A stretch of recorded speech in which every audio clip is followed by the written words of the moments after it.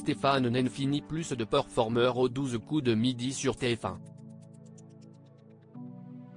Et ce vendredi 30 décembre, le maître de midi a fait une demande particulière à Jean-Luc Reichmann.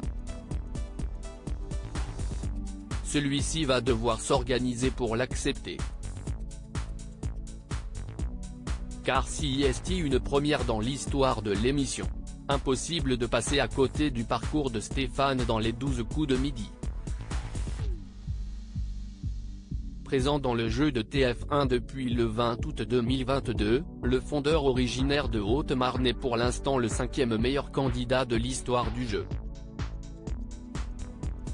Il a en effet réussi à accumuler une cagnotte de 517 893 euros durant 132 émissions.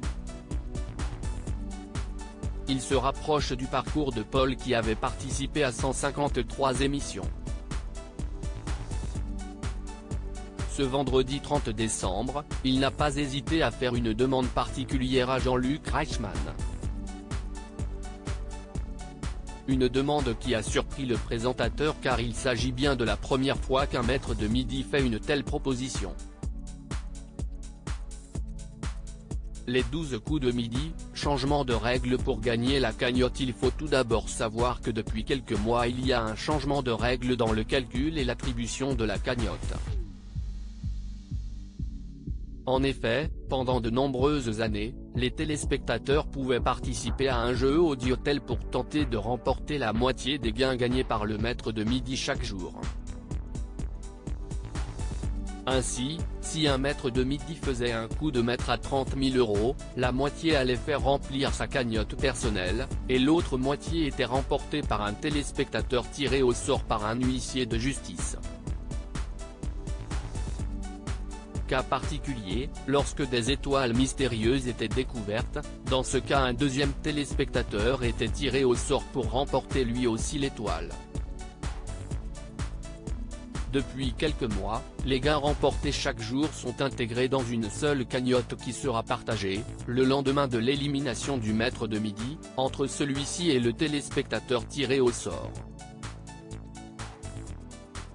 Les 12 coups de midi Jean-Luc Reichmann accepte la demande de Stéphane lorsque Jean-Luc Reichmann a annoncé à Stéphane le montant total de la cagnotte en cours, 688 500 euros précisément, ce dernier a tenu à rencontrer la personne qui partagera avec lui ce montant.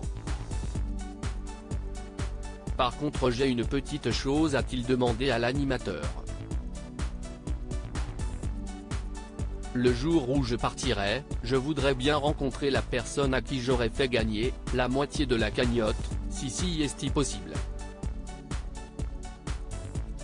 Juste pour avoir sa réaction, le bonheur que je lui aurais procuré grâce à ma culture. Une demande tout de suite acceptée par le présentateur préféré des Français. Il va falloir qu'on fasse une mise en scène a-t-il répondu.